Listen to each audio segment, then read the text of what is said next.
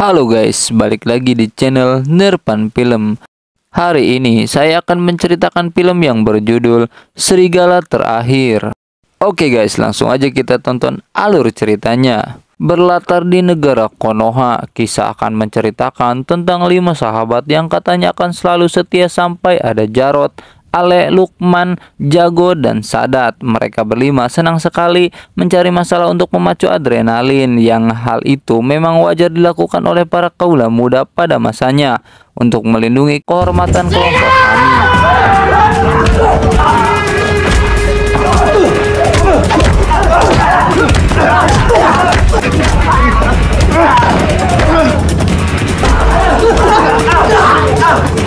Ah! Lu kan? Gitu dong. Bener Dari mereka berlima, hanya Jarodlah satu-satunya pemuda yang masih punya adab dan hati nurani yang hal itu dibuktikan ketika mereka berpapasan dengan pemuda yang mohon maaf, semacam seorang yang bisu atau tunawi secara bernama Fatir. Ini orangnya Jarod memberikan uang kepada Patir secara rasa minta maaf dan permintaan maaf atas apa yang telah teman-temannya lakukan. Kami memang senang menantang bahaya, kekuatan adalah kekuasaan.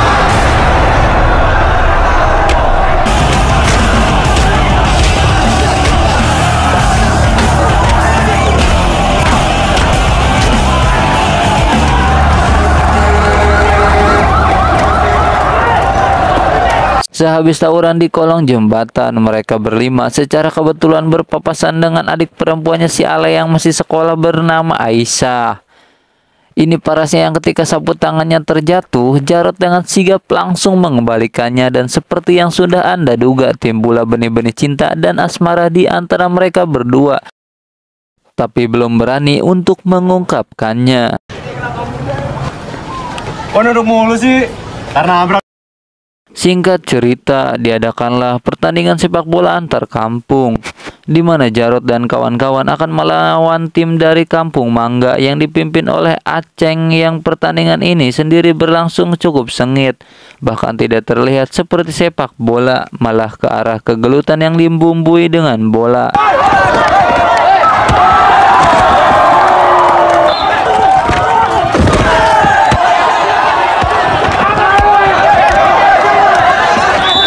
Ketika sedang istirahat, muncullah Aisyah yang memberikan perhatian lebih kepada Jarot ketika dia menanyakan kondisi bokongnya pasca terjatuh tadi. Mana Ale yang tidak nyaman adiknya berada di sini pun menyuruh Aisyah untuk pulang ke rumah dan teman ibunya memasak di rumah. Muncullah adik Jarot yang bernama Yani. Ini parasnya yang mengantarkan minuman untuk mereka semua. Pertanda bahwa Yani juga sama perhatiannya kepada sang kakak dan teman-temannya. Babak kedua pun dimulai dengan cukup keras dan brutal. Tatkala bolanya hanya digunakan sebagai perantara untuk mereka bisa adu sikut dan kaki di mana saat Ale berhasil mencetak gol, Aceng yang tidak terima pun melemparkan bola tersebut tepat di kepala Ale hingga keributan pun tak terhindarkan.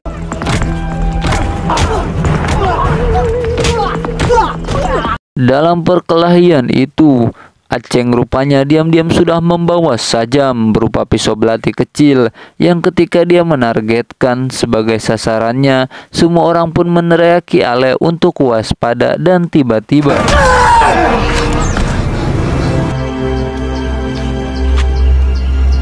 Dia demi Ale, sahabatnya Jarot, nekat memukul kepala si Aceng hingga tewas. Maka esok harinya polisi langsung menjemput Jarot ke rumahnya yang pada momen tersebut Ale dan kawan-kawan hanya bisa terdiam tanpa memberikan pembelaan atas sahabatnya yang katanya akan setia dalam kondisi apa pun, kapan pun, di mana pun, omong kosong.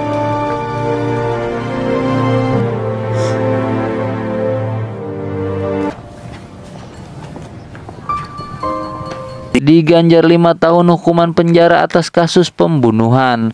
Jarod pun dimasukkan ke dalam sel tahanan yang di situ ada para napi senior yang dipimpin oleh Samsul. Ini bebenguknya yang pada hari pertama di penjara, Jarod langsung mendapat sambutan selamat datang berupa salam olahraga yang diberikan oleh Samsul dan anak buahnya.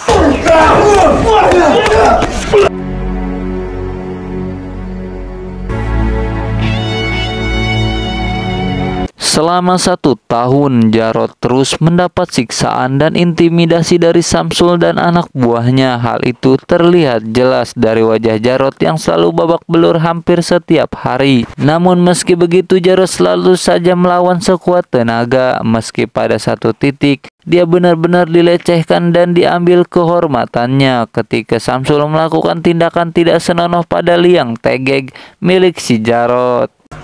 Omong lo, Gue.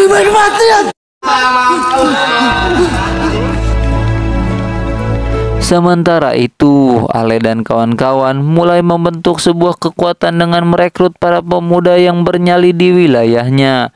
Namun ketika Pater ingin ikut bergabung, Ale dan kawan-kawan pun seenaknya mengusir dia dari sana karena dianggap tidak akan berguna dan hanya menjadi beban saja. Saat pulang itulah Patir benar-benar sangat terpukul tatkala sang nenek satu-satunya keluarga yang dia miliki meninggal dunia. Dan setelah Ale dan kawan-kawan tidak mau menerimanya sebagai kawan dan keluarga Fatir memutuskan untuk pergi dari kampung ini untuk mencari kelompok atau orang-orang yang mau menerima dia apa adanya. Butuh waktu lama Ale dan kelompoknya pun menjadi preman paling berkuasa dan paling ditakuti di wilayahnya. Mereka rutin rutin memalak para pedagang dan pemilik ruko untuk meminta jatah.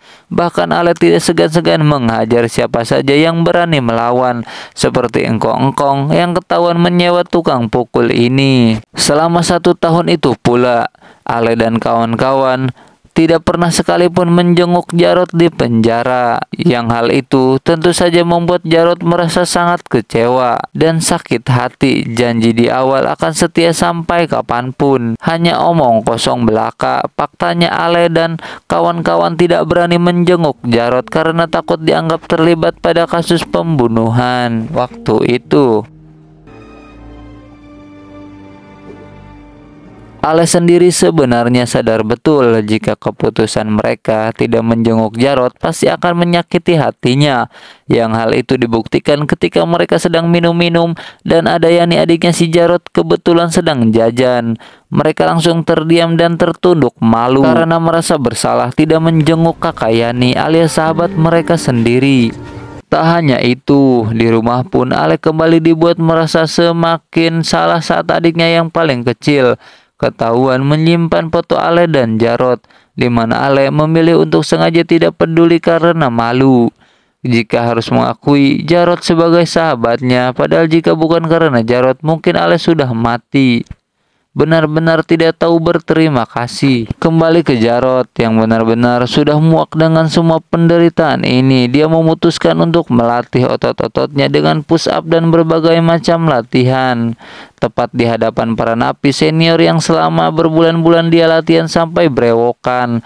Mulailah terlihat sesi latihannya ketika Jarot mampu menumbangkan dan menundukkan semua anak buah si Samsul.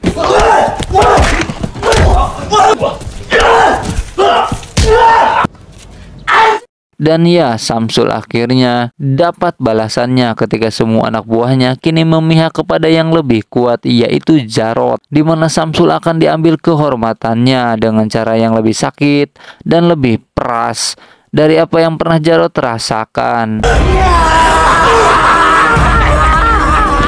Singkat cerita, Jarot akhirnya bisa merasakan udara kebebasan setelah lima tahun dia berada di penjara dan Jarot akan benar-benar dibuat terkejut dengan orang pertama yang akan menjambutnya bukan keluarga, adik, ibu, ale atau sahabat-sahabatnya melainkan Patir yang kini sudah memakai setelan rapi dengan raut wajah sangar yang langsung mengajak Jarot untuk pergi ke suatu tempat. Dan inilah markas geng Naga Hitam, sebuah kelompok mafia leletikan yang dipimpin oleh seorang bos besar bernama kita panggil saja si bos besar nih. Si bebenguknya beliau rupanya sudah lama memantau Jarot selama berada di penjara sesuai dengan rekomendasi dari Patir. Beliau melihat sebuah potensi yang besar dari dalam diri Jarot yang membuat si bos besar tertarik untuk mengajaknya bergabung dalam reng-rengan naga hitam ini. Selamat datang di keluarga barumu. Jarot pun dimasukkan ke dalam tim yang terdiri dari Fatir, Alek dan Tito. Mereka bertugas di lapangan untuk menjalankan bisnis haram yang salah satunya adalah menjual narkoboy.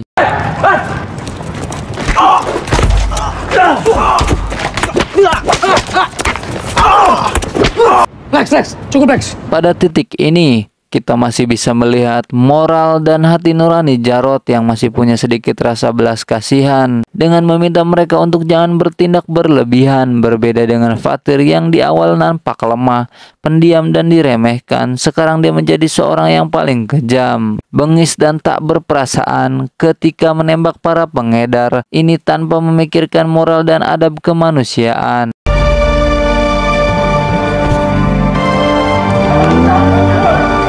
Ketika sedang makan di gang, terjadi momen tak terduga ketika Jarot akhirnya bisa bertemu kembali dengan Aisyah, adik Ale yang sudah lama dia sukai tanpa basa-basi. Jarot meminta nomor telepon Aisyah yang ketemuan nanti malam yang rupanya Aisyah juga memiliki perasaan yang sama dengan apa yang dirasakan oleh Jarot selama ini. Tepat di lokasi pasar malam, mereka berdua pun bertemu dengan agenda untuk bobogohan dan saling mengenal lebih dekat satu sama lain.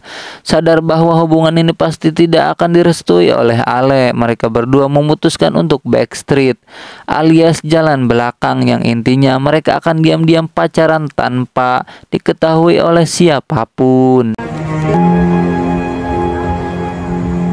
Berita tentang bebasnya Jarot akhirnya sampai di telinga Ale. Awalnya dia merasa senang karena akhirnya bisa bertemu lagi dengan bestinya. Tetapi ketika mendengar Kak Jarot diajak Patir bergabung dengan geng naga hitam, di situlah emosi Ale mulai memuncak dan ambak-ambakan tidak parugu yang membuat teman-temannya menjadi gusar kembali kepada Jarot yang terlihat sedang bersama Patir. Sebagai warga sipil asli daerah ini, mereka berdua khusus ditugaskan untuk mengedarkan narkoba di wilayahnya. Si Ale yang awalnya para bocah ini diberi secara gratis, tetapi untuk selanjutnya mereka harus membeli barang tersebut dan tahu harus membelinya ke siapa.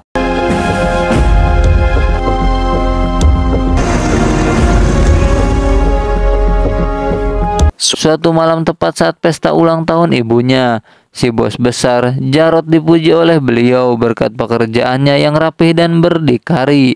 Bahkan Jarot diminta untuk berfoto bersama keluarga besar si bos karena sudah dianggap sebagai keluarga sendiri.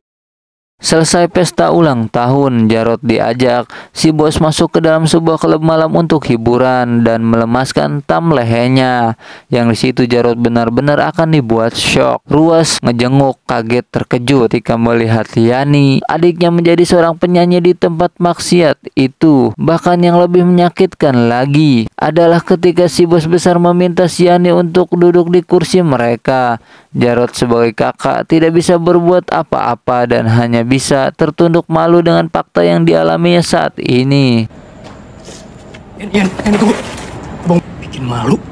Ke mana abang selama ini?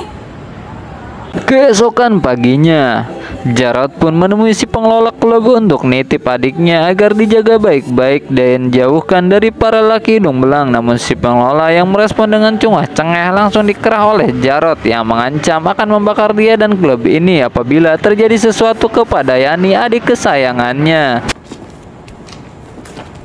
Di sisi lain di markas kelompok Ale, Lukman membawa adiknya yang menunjukkan gejala sakau akibat kecanduan narkoba yang ketika ditanya dapat dari mana barang haram tersebut, Ale dan kawan-kawan semakin dibuat emosi saat mengetahui bahwa Jarot dan geng naga hitamlah pelakunya. Jarot!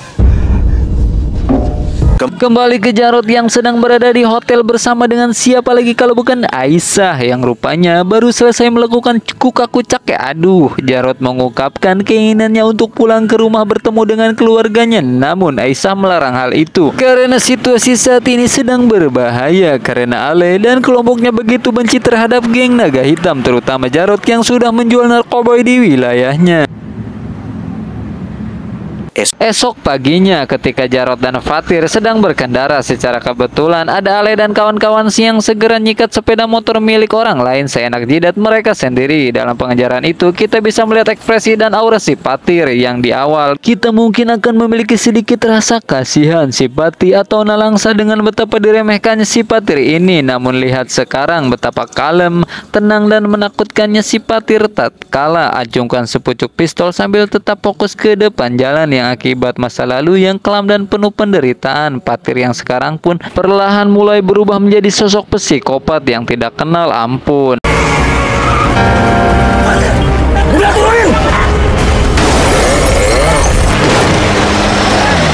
Akibat kejadian tadi, Ale pun meminta kawan-kawannya untuk meningkatkan keamanan dengan menempatkan penjaga di setiap pintu masuk ke wilayah ini yang dalam situasi kritis seperti ini, Jarot justru dengan beraninya masuk diam-diam untuk bertemu dengan ibu, adik, dan bapaknya yang sedang sakit. Aku kangen sekali sama kamu. Mau apa kamu ke sini? Tanpa Jarot sadari, Pati rupanya mengikuti sedari tadi karena khawatir dan peduli terhadapnya. Namun yang akan membuat Anda tercengang adalah ketika Fatir benar-benar menjadi seorang real psikopat dengan membunuh para penjaga yang notabene adalah teman sekampungnya sendiri. Hei, siapa lu? Kamu harus cepat pergi sekarang, Jarot. Semua orang menuju ke sini ketika satu penjaga ditemukan mati. Ale dan kawan-kawan langsung berpencar untuk mencari Jarot, di mana Jarot sendiri akhirnya bertemu dengan Patir dan segera melarikan diri dari wilayah tersebut.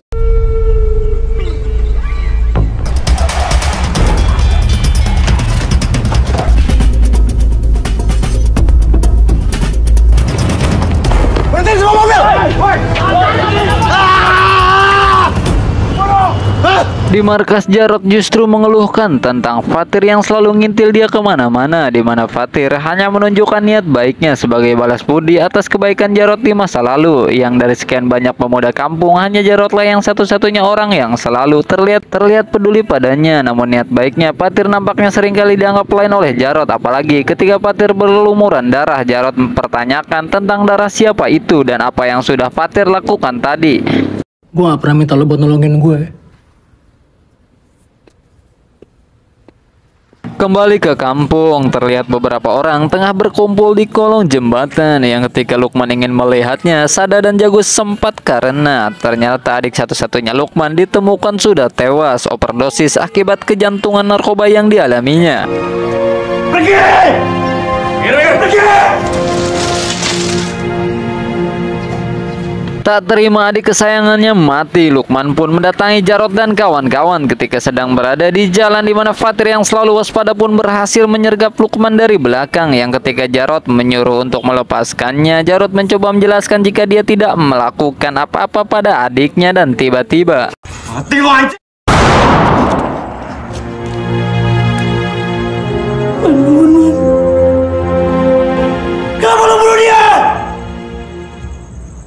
Jasad Lukman pun dimasukkan ke dalam koper dan dibuang di pinggir sungai kampung mereka di mana Ale yang melihatnya pun sangat dibuat terpukul yang membuat Jago berinisiatif untuk membalas dendam. Kita bisa tinggal diam, dah. Kita harus balas dendam. Dan betapa pengecutnya Sadat Jago ketika memilih untuk membalas dendam kepada adik-adik Jarot yang di mana mereka berdua memperkosa Yani tepat di dalam klub tanpa adanya tanggung jawab dari sang pengelola klub tersebut. Bukan gini caranya balas dendam! Jarot dan tim pun segera mendatangi si pengelola klub yang telah disiksa, ditikam di tangan dan ditembak di bagian kaki. Beliau akhirnya buka suara tentang pelaku yang telah memperkosa adiknya, di mana Jarot benar-benar menepati janjinya ketika akan membakar dia dan klub ini apabila terjadi sesuatu pada Yani adik kesayangannya.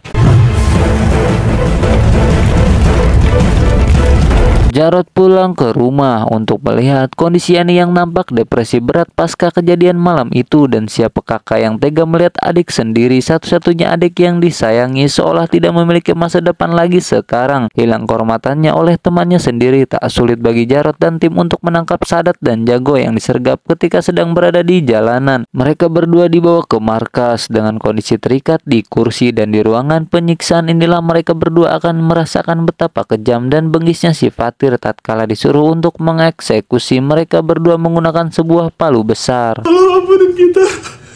Rod jangan. Lepasin kita.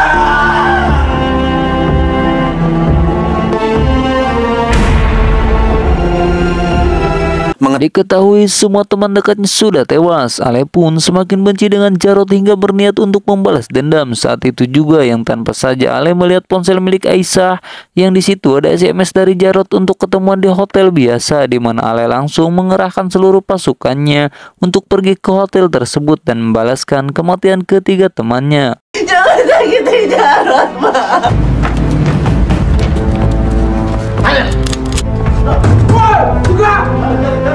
Jarod nampaknya masih ditang tayunan oleh Sang Maha Kuasa ketika Patir dan Tito diam-diam mengikuti dia sampai ke hotel yang secara pas sekali melihat Ale dan pasukannya turun untuk melakukan penyerangan sehingga Alex segera menghubungi Jarod untuk turun segera mungkin dijemput Patir mereka berdua pun terlibat kejar-kejaran yang ketika sudah yang ketika sudah ketahuan baku tembak pun tak terhindarkan lagi.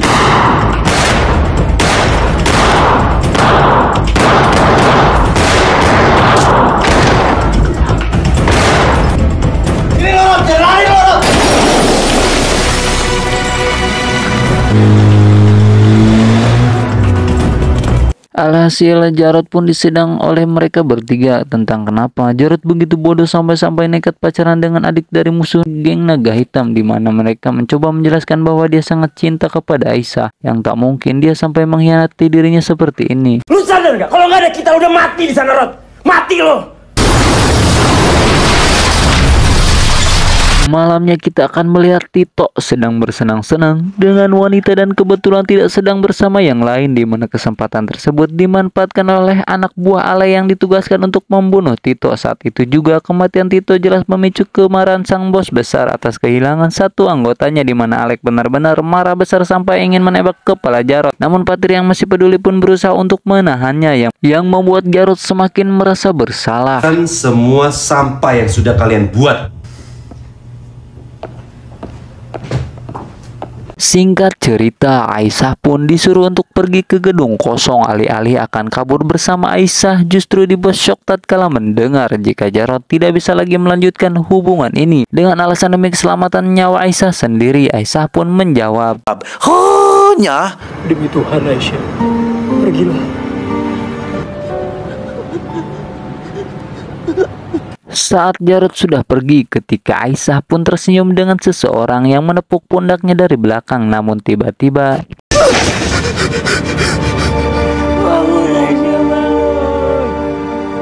Kematian Aisyah tentu membuat Ale dan ibunya serta adik bungsunya merasa terpukul. Bahkan sang ibu sendiri menyumpahi sang pelaku agar mati seperti yang dialami oleh anaknya. Untuk Jarot hari-harinya selalu mengandung kesedihan disertai hulu yang liar akibat alkohol yang selalu ditenggaknya. Di mana Jarot curhat kepada Fatir bahwasannya geng naga hitam harus menyudahi peperangan dengan kelompok Ale dan berdamai tanpa ada lagi pertumpahan darah.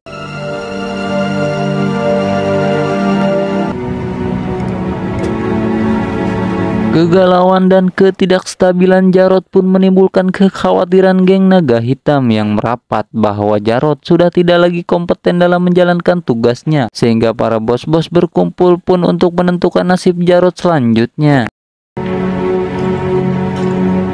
Dirasa sudah tak memiliki tujuan lagi, Jarot pun menghubungi Ale untuk ketemuan di suatu tempat dalam rangka membuat perjanjian damai supaya tidak ada lagi pertumpahan darah di mana Ale menitip pesan pada adik bungsunya itu untuk selalu menomorsatukan keluarga karena seorang pria sejati harus bisa melindungi keluarganya sendiri entah bagaimanapun caranya. Tiba di lokasi pertemuan, Jarot langsung menyatakan kecewanya terhadap aliran kawan-kawan yang selama ini dan menunjukkan sedikit pun kesetiaan dan kepedulian terhadapnya yang janji di awal akan setia sampai mat. Ternyata hanya sekedar omong kosong, nyaring bunyinya. Sejenak Ale pun terdiam karena rumaus dengan kesalahannya. Tetapi dibalik penyerang dengan mengatakan jika Jarot lebih kejam dengan membunuh teman-temannya termasuk Aisyah. Jarot langsung mengatakan bahwa dia sangat mencintai Aisyah dan tidak mungkin dia membunuhnya yang saat itu juga Ale langsung menyerang Jarot dan mengatakan jika Aisyah tewas bersama dengan jabang bayi yang ada di dalam perut perutnya. Sama Aisyah. Lo juga harus mati, Rod!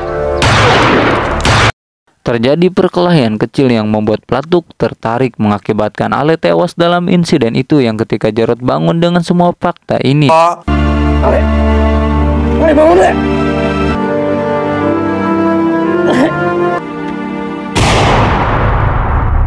Ya, seperti yang sudah saya katakan, Fatir adalah sosok paling berbahaya di antara yang lain, di antara aktor-aktor atau karakter yang ada di film ini, di mana penderitaan dan sakit hatinya di masa lalu membuat Fatir nekat membunuh Jarot, satu-satunya orang yang selalu peduli terhadapnya. Namun karena ini adalah perintah dari bos besar naga hitam, Fatir tidak memiliki pilihan lain selain membunuh Jarot yang bisa menjadi ancaman bagi geng naga hitam.